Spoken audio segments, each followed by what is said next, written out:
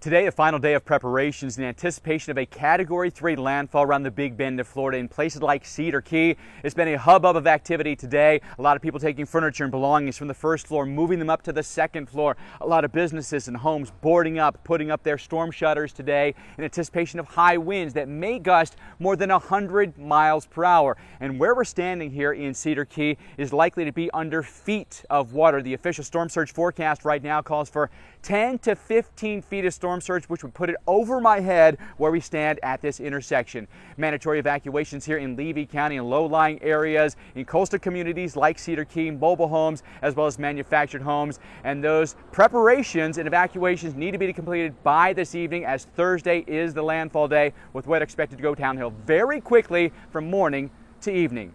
That's the very latest here in Cedar Key, Florida. I'm Mike Bettes. Back to you.